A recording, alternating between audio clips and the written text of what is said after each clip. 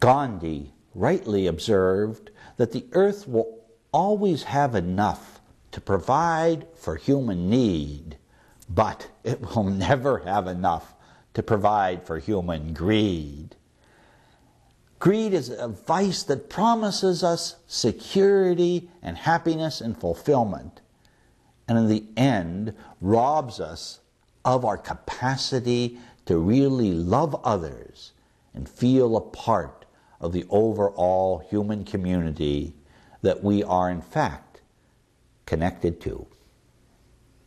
There's a picture in our family album when I was about four years old at Christmas time one of my cousins was playing with one of my toys and I was trying to take it back from him with big tears coming down my eyes.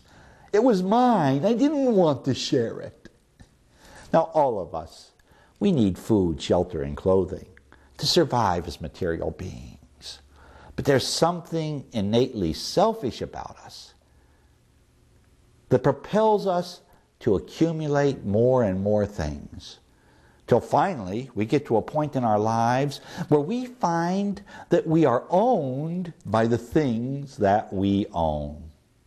There was a bumper sticker a number of years ago, very popular on many cars, that would say, The person who dies with the most toys wins.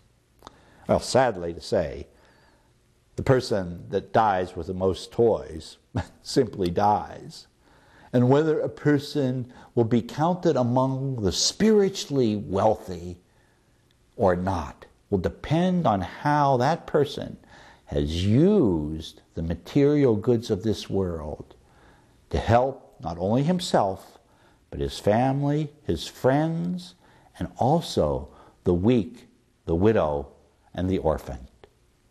We become enriched by the things we give away. May you have a generous spirit and not have the joy of your life robbed by that vice that we call avarice and greed. God bless you.